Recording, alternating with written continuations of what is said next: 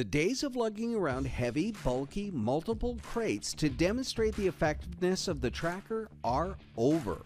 Allow me to introduce the new and improved Faro Vantage S.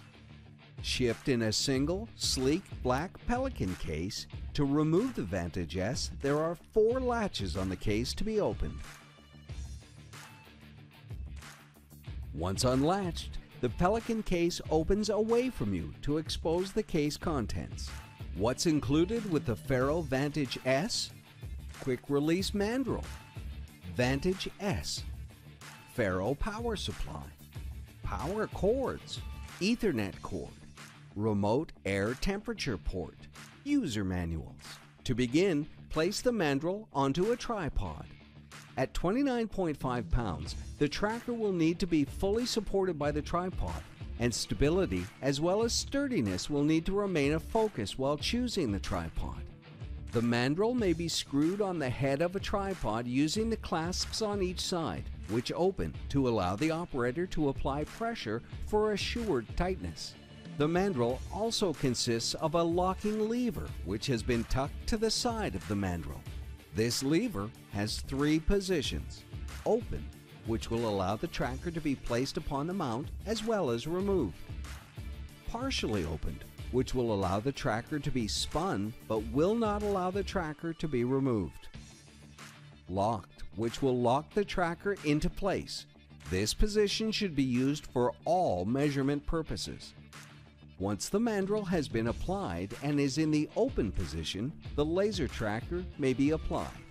The tracker is removed from the case with the help of the retractable handle located on the top of the tracker, as well as the handle conveniently located along the bottom of the backside of the tracker.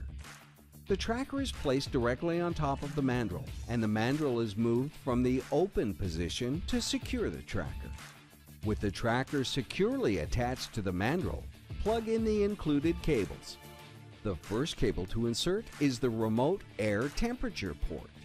This cable is attached to the tracker on one end and the other end is not attached, but left to gauge the temperature along with the humidity of the room for optimized operation.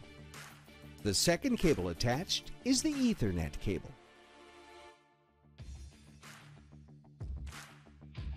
The third cable attached is the power cable.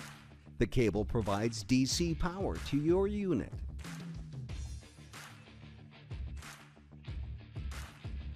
Next, we will plug the other end of the power cable into the included power supply. Almost there. Insert the other end of the Ethernet cord into your computer. Finally, attach the second power cord to the power supply. At this point, all cordage will be attached and the device is fully operational. You may plug in the tracker and power it on by pressing the power button on the rear left side of the tracker. Once powered, the tracker will emit lights from both the rear control panel as well as the sides of the tracker. Now, launch CAM2 Measure 10 to connect the software to the device. Click the Devices tab and open the Device Control panel. Click Add New Device and insert the IP address as 128.128.128.100. Click Connect. Once the tracker is connected, it will initiate a startup stability check. This will take some time. Once the check is concluded, the tracker may be initialized. Once this is complete, the dialog window may be closed and the tracker will be operational.